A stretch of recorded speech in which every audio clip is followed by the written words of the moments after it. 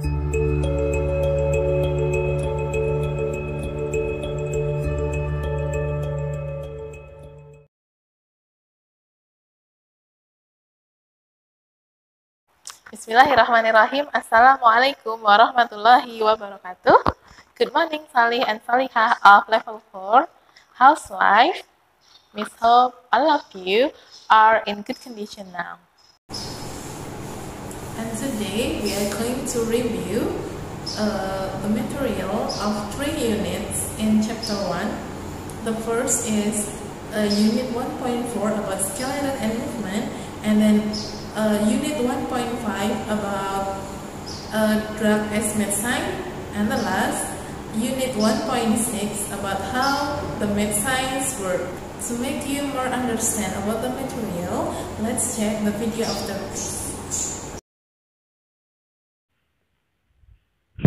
Okay, student, we will start from 1.4 skeleton and movement. From the muscles. Muscles are the parts of the body that allow us to move in many different ways. Muscles are found under the skin. They cover the skeleton and give your body the shape. Nah, sebelumnya kita sudah belajar tentang skeleton ya anak-anak. Kita sudah belajar tentang kerangka. Ternyata yang membantu kita bergerak bukan kerangka. Kerangka itu hanya menopang atau memberi kekuatan. Yang mengizinkan kita bergerak adalah muscles. Kemudian yang menutupi uh, apa namanya? menutupi kerangka kita itu juga ternyata adalah muscle. They cover the skeleton ya and give your body the shape dan membentuk tubuh kita seperti itu. Next, scale, uh, muscles make us move. Nah, muscles always work in pairs. One muscle contracts and pulls on the bone it is joined to. This makes the, the bone move. The opposite muscle relaxes. Nah, as we know, yang uh, kita tahu bahwa yang memberi, uh, yang mengizinkan tubuh kita bergerak adalah membantu tubuh kita bergerak adalah muscles. Ternyata adalah otot kita. Next, how muscles work. Muscles, as we know, always work in pairs. One muscle contracts and pulls on the bone it is joined to. This makes the bone move. The opposite muscle relaxes muscles work by getting longer and shorter. Look at the picture. There are two pictures. The first, when the arm lifts, muscle A contracts and muscle B relaxes. And then picture 2, when arm drops, muscle A relaxes and muscle B contracts. Nah, ketika anak-anak menaikkan tangan, uh, menaikkan lengan kita ke atas, ternyata yang bekerja adalah uh, otot kita yang berada di atas, muscle A bekerja. Kemudian muscle yang B yang di bawah akan diam atau istirahat. Kemudian yang picture 2 ketika tangan kita luruskan atau diturunkan, yang bekerja adalah muscle uh, muscle B ya Nah, muscle B ketika muscle B bekerja ternyata muscle A akan diam atau istirahat. Nah, muscle yang bekerja akan membesar anak-anak seperti itu. Next, we uh, this is the conclusion of uh, unit 1.4 ya. We have learned about Muscles allow us to move. Muscles are to bones. Muscles work by pulling on bones and then muscles work in pairs. Miss Hope you can understand well about 1.4 about skeleton and movement. Let's continue to the next unit 1.5 about drugs at as medicines. The first about drugs. Drugs are substances that make our body change in some way. Many drugs have good effect, but some drug can harm can harm our bodies. Nah, seperti kita tahu anak-anak, ternyata drug itu ada yang memberi efek baik kepada tubuh kita, ada juga yang berbahaya pada tubuh kita.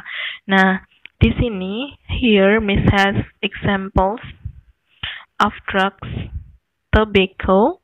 Uh, that uh, inside the tobacco there is nicotine, and then coffee. Inside the coffee there is caffeine.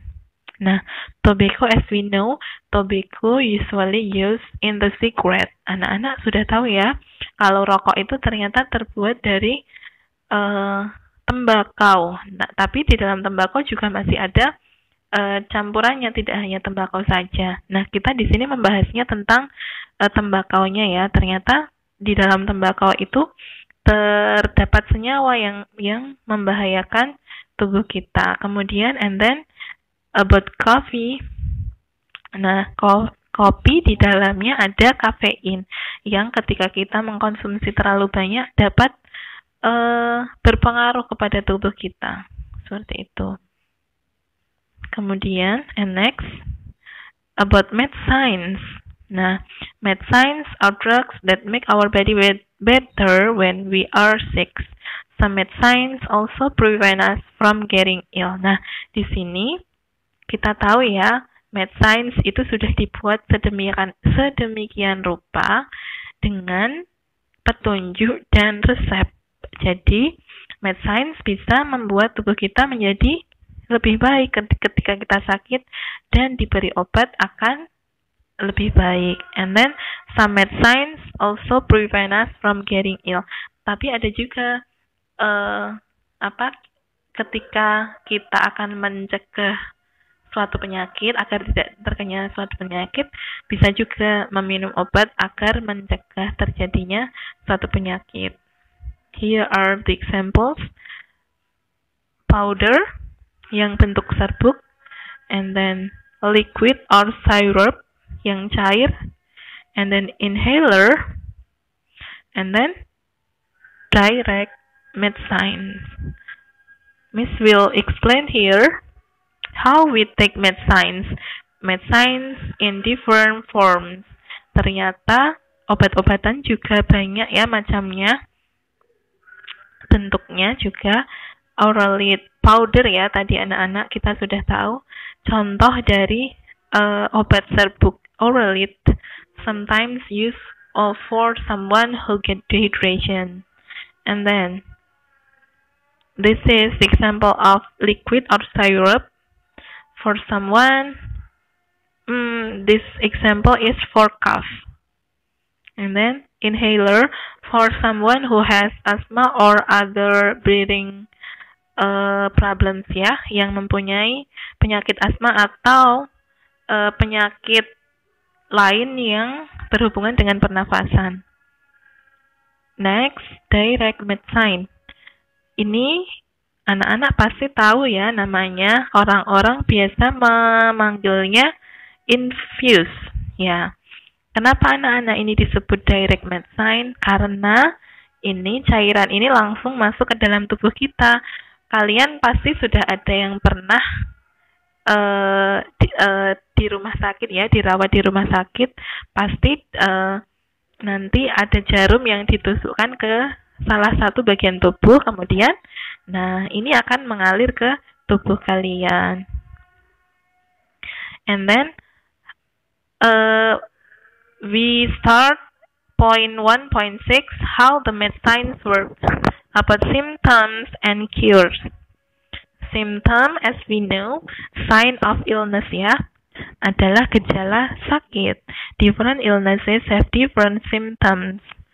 Penyakit yang berbeda mempunyai gejala yang berbeda juga. Often we become ill because germs enter our body. Nah, kadangkala kita sakit juga karena kuman anak-anak, germs. Kadang-kadang karena germ atau kuman. Jadi jangan lupa mencuci tangan dengan bersih karena sering kali kuman itu menempel bisa ke tubuh kita, bisa ikut ke makanan karena menempel di tangan kita. Next, when medicine make an illness go away, it means the medicine cure us. Nah, kalau ada penyakit yang sudah sembuh, tandanya obat tadi bisa menyembuhkan. Tetapi anak-anak ingat ya, uh, obat itu hanya sarana anak-anak yang mempunyai eh yang bisa menyembuhkan adalah Allah. Di sini kita bisa belajar bahwa Maha dahsyat ya Allah itu menciptakan segala sesuatu dan mengizinkan manusia untuk apa? bereksperimen sehingga bisa membuat obat. Tapi kita tidak boleh lupa bahwa semuanya adalah karena Allah. Kemudian how medicines work. Nah, this is the example of flu symptoms. Uh, symptoms masih ingat ya? Do you still remember symptoms or sign of illness? Ya, yeah. this is flu symptoms.